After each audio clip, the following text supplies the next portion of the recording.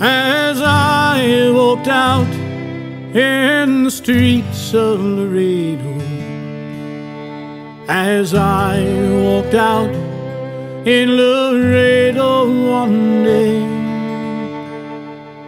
I spied a young cowboy all wrapped in white linen,